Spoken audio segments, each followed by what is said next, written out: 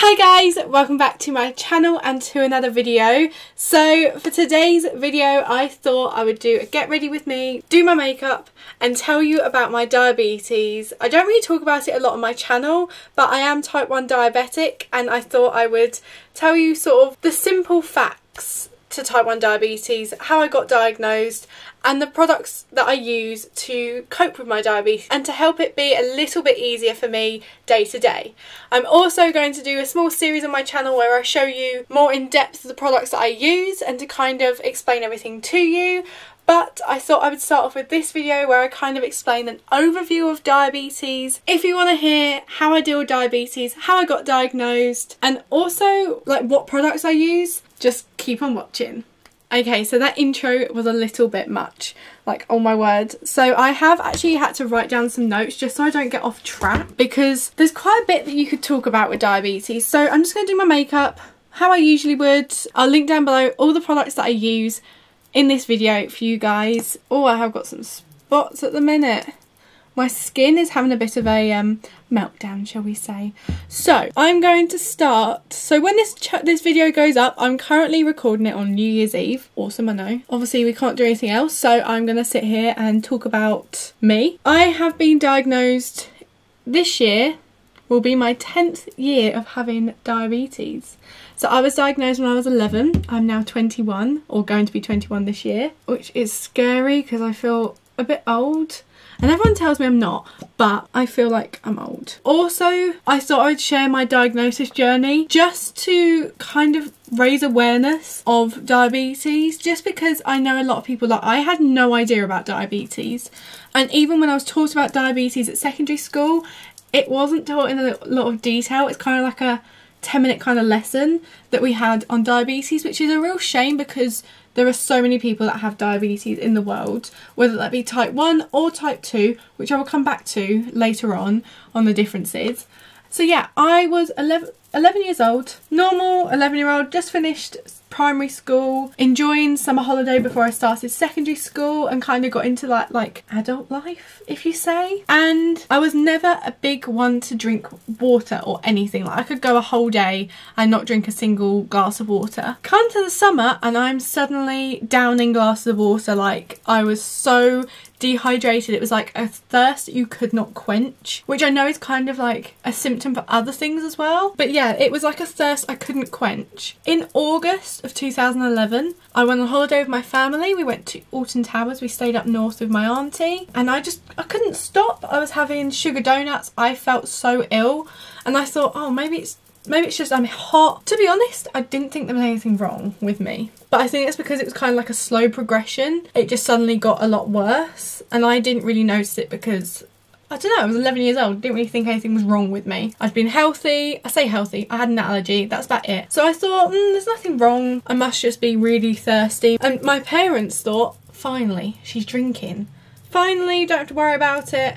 She's actually drinking, she's sort of looking after herself now, perfect to start secondary school, don't have to worry about anything. I then came home and I went to London with my grandparents. Um, but while we were there, I suddenly felt really ill to the point where I thought I was going to collapse. And I drank my bottles of water, I drank my cousin's bottle of water and my nan's to try and quench this thirst that I had and it just was not going. Which if you can tell. Thirst is like a big one for diabetes because your body's trying to get rid of the sugar in your system that it can't because you're not producing the chemical that you need. Basically I came back from London, I had like a massive jug of water and I mean massive. And then I went to the toilet and I came back down and I had another massive like jug of water I'd have at least two of those a night just for dinner, which is insane. Absolutely insane. I don't actually think I've got any pictures of myself from this time. So yeah, I that that was how it started and then my nan spoke to my parents and got them to take me to the doctors because they thought there was nothing wrong they thought oh she's just she's finally drinking she's healthy she's fine but my nan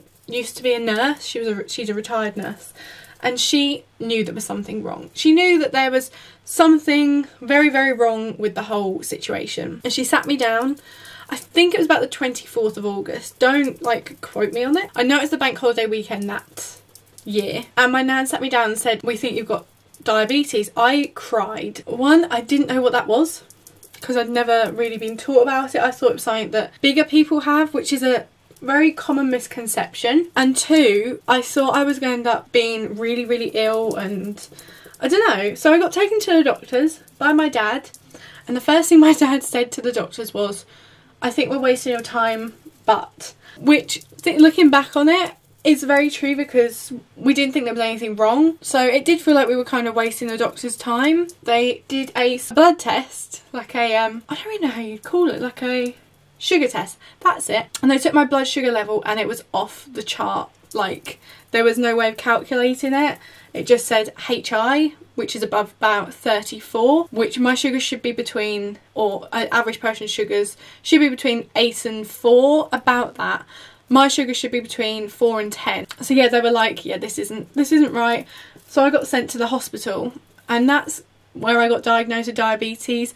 I spent three days in the hospital. I then came out and on the Wednesday, which was three days after I left the hospital and started doing injections for myself, I started secondary school which is crazy. It is absolutely crazy, but I'm so proud of myself and I've actually made it nearly 10 years of having diabetes. That's kind of my diagnosis story. I'm going to carry on and tell you a bit more about like the ups and downs of diabetes, but first I'm going to go off camera and just do my eyebrows because as you guys know, I hate doing them on camera.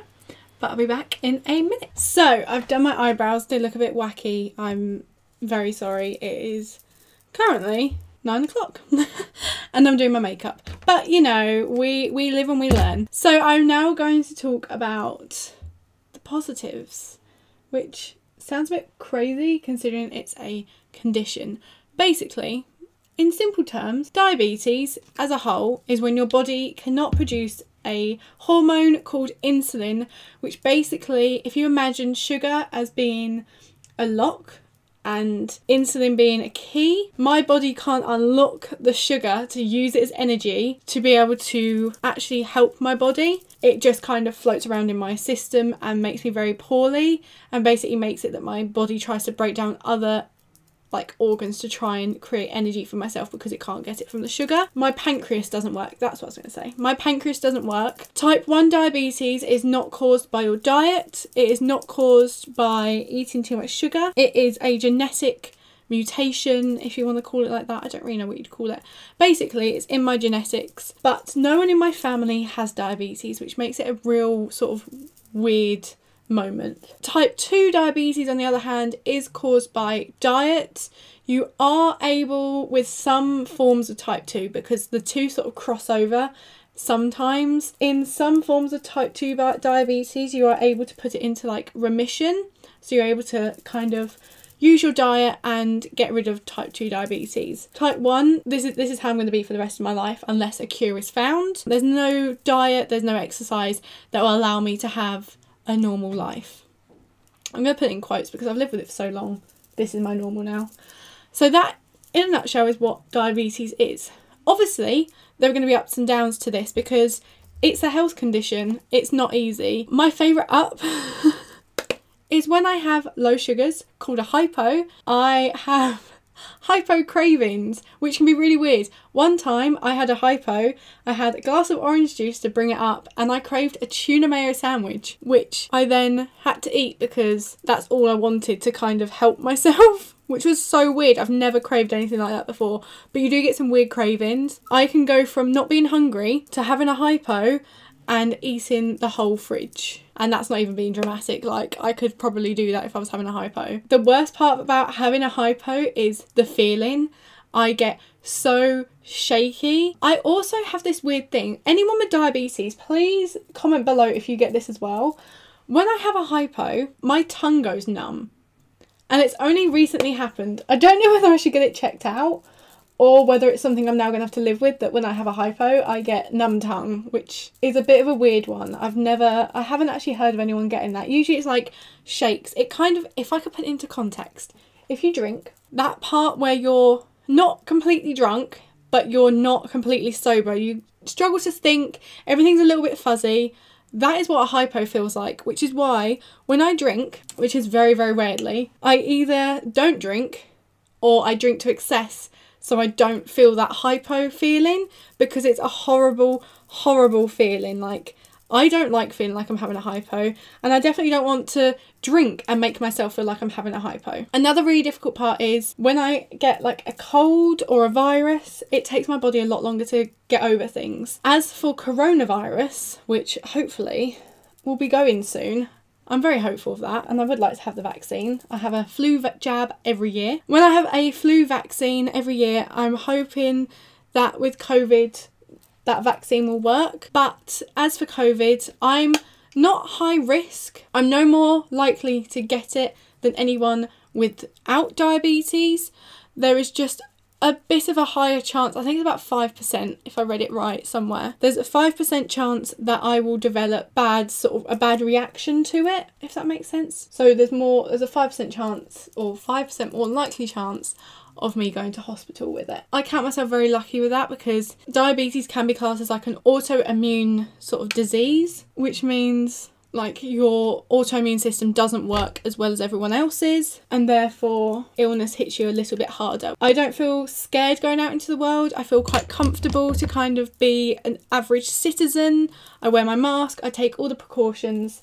I still go to my job at work, so I feel fine. One of the things I absolutely hate and it's more when I was first diagnosed. So when I was first diagnosed, I used to do injections, and this kind of brings me on to how I treat my diabetes now. But I used to do injections, so every time I ate something, I would do an injection, which mentally is petrifying because no one wants to put anything into their body. A needle is not a nice thing. So when I was first diagnosed, having dinner, it would take me at least half an hour to do my injection before I could actually sit down and eat anything, which made dinner time a time I would dread because food would already be on the table and I would still be sitting there trying to do this injection into my leg just so I could eat something.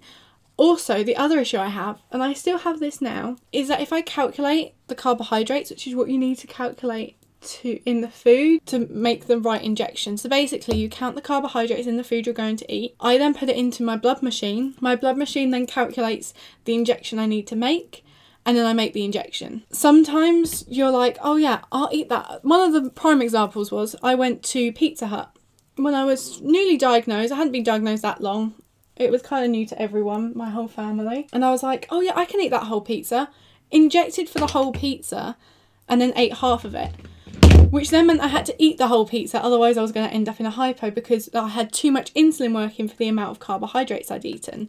So it kind of like if you inject too much, your sugars will drop dramatically, which was going to happen to me if I didn't eat this whole pizza, which made me very, very ill and I did not like it one bit. So I kind of learned to naughtily inject after I eat, which is not a good way of doing it, but it's just because I don't have a massive appetite. If I don't fancy eating, I'll eat a little bit, but I can't tell you exactly how much I'm going to eat to be able to calculate the carbohydrates that I'm going to consume. My whole world revolves around maths.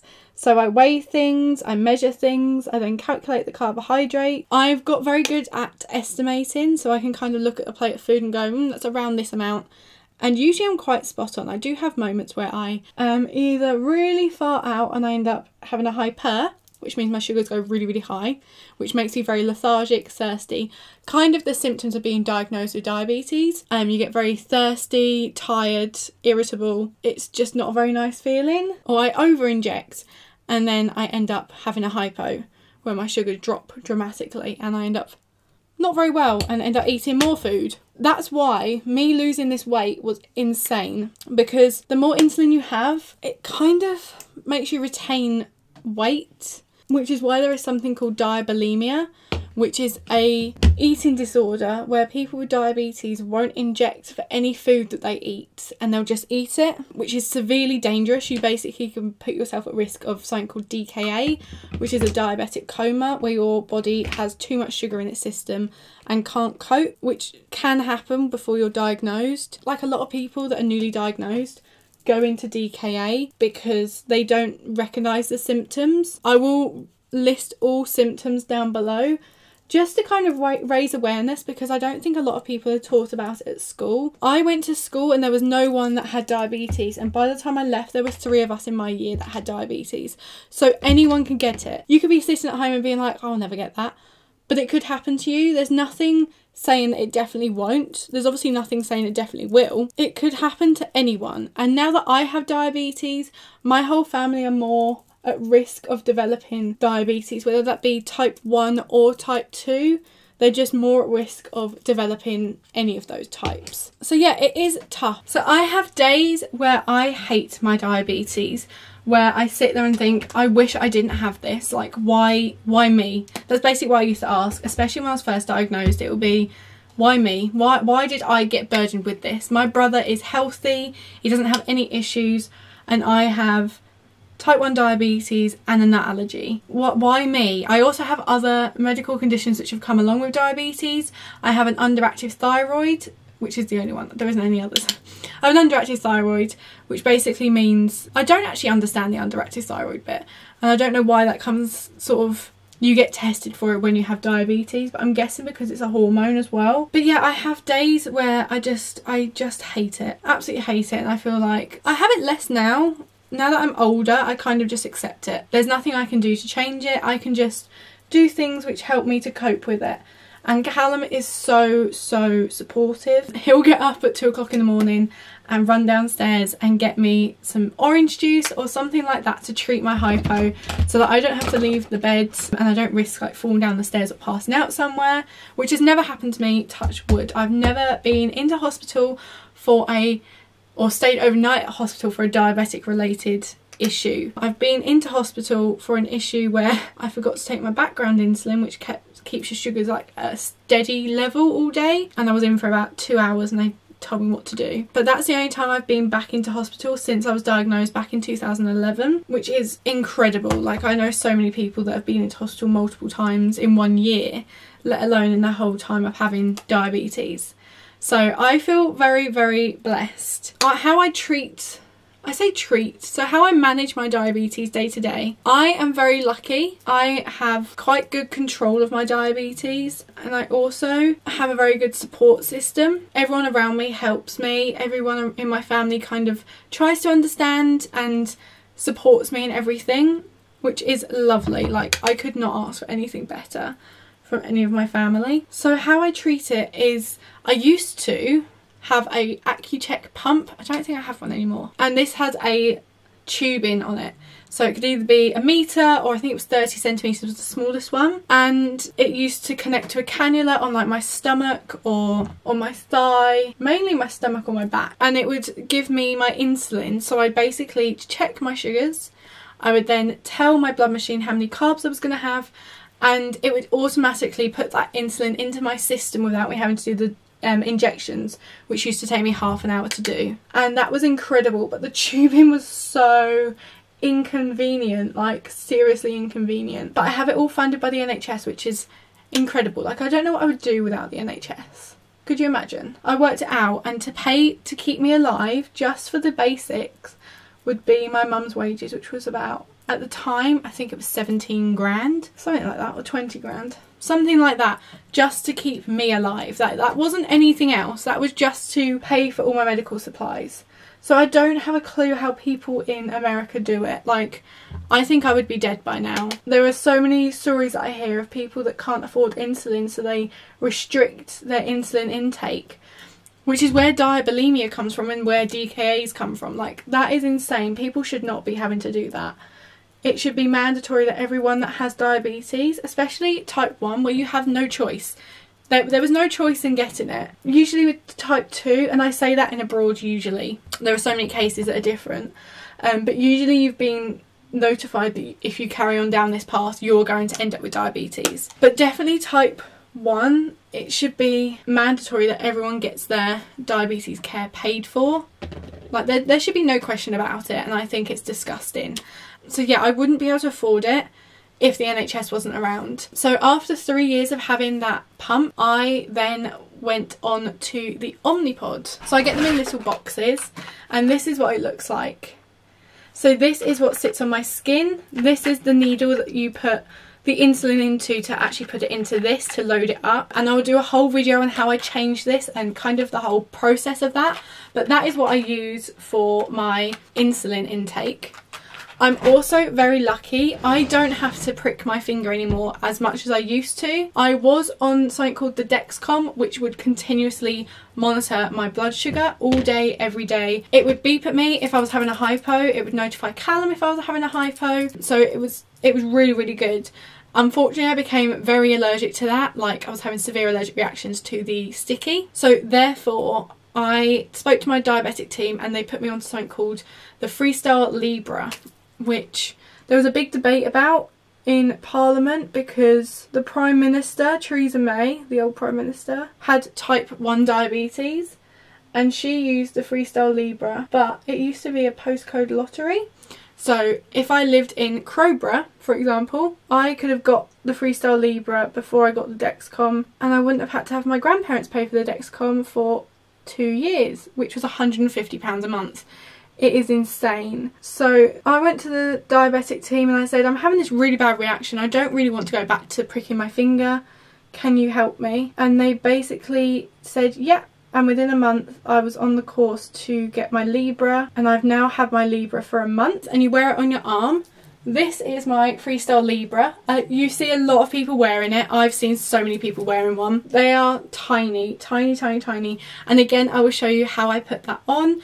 It will also be a step-by-step -step for people that are newly diagnosed or newly been given the Freestyle Libre or the Omnipod. All I do is scan my Libre with my phone and it just tells me what my sugars are. It's a little less accurate than pricking your finger but it gives you a general idea of where your sugars are. It also gives you an arrow on where it's going and also you can see a trend of where it's come from and it makes it easier to monitor and make sure that you're healthy. So I quite like that. Honestly I think that if I hadn't become allergic to the Dexcom, I would have still had that to be honest.